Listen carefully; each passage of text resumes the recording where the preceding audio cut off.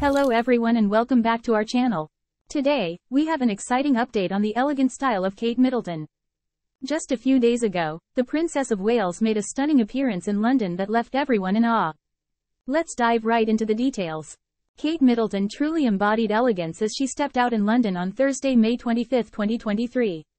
Her choice of attire was impeccable, wearing a polished pink suit and accessorizing it with beautiful pearls. It was a sight to behold. The precision tailoring of Kate's ice pink suit silently communicated her authoritative role as she represented her foundation and center. The pastel hue perfectly chimed with the season, making it a superb choice for spring, but that's not all. During this engagement, the Princess of Wales joined care experienced individuals, adoptive parents, foster parents, and kinship carers to highlight and discuss the importance of relationships in the formative years.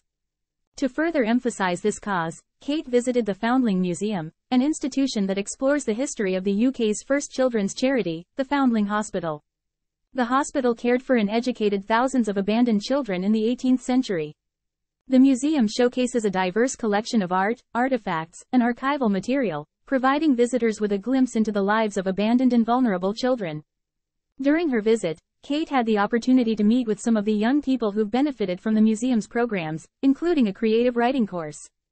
She learned about their experiences and how the museum's initiatives helped them cope with life challenges and emotions. Kate also hosted a discussion with adoptive parents and foster carers, shedding light on the lifelong impact that positive and supportive relationships can have on children and young people. It was a truly engaging and thought-provoking conversation.